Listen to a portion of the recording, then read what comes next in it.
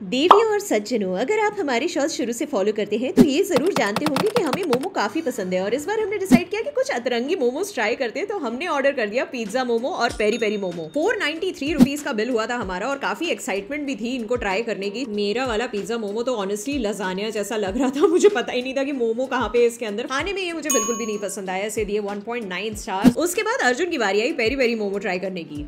कैसा है? Is nice मतलब ओके मतलब मोमो के ऊपर तंदूरी मसाला इट्स ओके मेरा वाला भी ओके था। इससे ये तो कंफर्म हो गया कि हमें मोमो के साथ एक्सपेरिमेंट नहीं करना चाहिए। जो ओरिजिनल है ना वही बेस्ट होता है। Anyway guys don't forget to subscribe